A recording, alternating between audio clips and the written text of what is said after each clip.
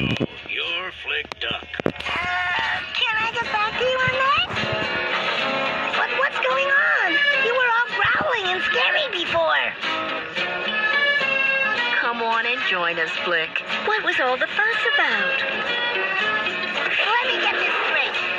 This lip-smacking duck-eating bear who was chasing me is not I I did growl a little, but that was because I stubbed my big toe. Someone left a big tin of cheese and crackers right in the middle of the yard. But I still don't get it. Why were you coming over in the first place? Well, I kept hearing someone calling my name. Bear! Bear!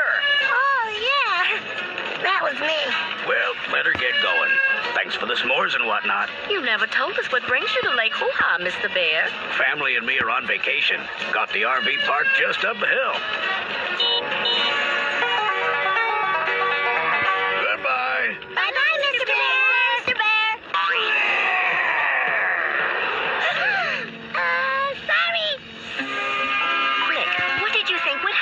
You cried bear all those times? Mm, I thought it would be funny. It wasn't funny, Flick. I don't think you learned a lesson from our bedtime story tonight.